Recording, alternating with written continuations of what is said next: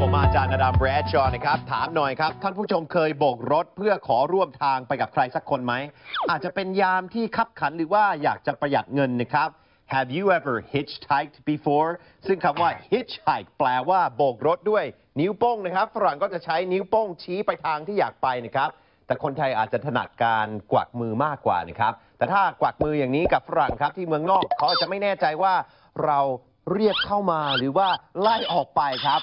ที่ประเทศออสเตรเลียมีหนุ่มนักดนตรีคนหนึ่งที่ไปโบกรถอยู่ข้างทางนะครับ เขาต้องการที่จะประหยัดเงินค่ารถประจำทาง 50 ดอลลาร์ He wanted to be frugal ซึ่งคำว่า frugal ก็คือประหยัดนั่นเองนะครับ หรือใช้ง่ายๆนะครับก็คือ he wanted to save money save money ประหยัดเงินนะครับ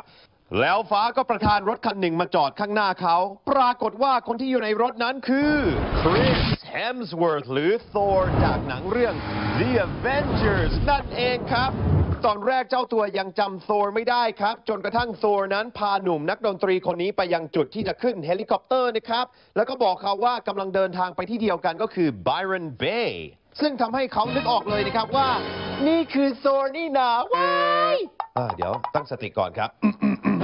He realized that Thor had picked him up แทนที่จะต้องนั่งรถสองชั่วโมงไปก็ได้นั่งเฮลิคอปเตอร์ไปกับดาราดัง คุยกันเหมือนเป็นเพื่อนซี้ทั้งทั้งๆที่เพิ่งจะรู้จักกัน ดาราบางคนถึงจะดังขนาดไหนก็ยังติดดินทำตัวง่ายๆ บ้านๆครับ Some celebrities are down to earth ซึ่งคำว่า down to earth แปลว่าติด earth นะครับ earth ก็คือโลกติดดินนั่นเองนะครับเคยคิดไหมครับว่าสักวันหนึ่งจะมีดาราดังมาจอดรถรับคุณ ลองไปโบกดูนะครับ อาจจะเป็น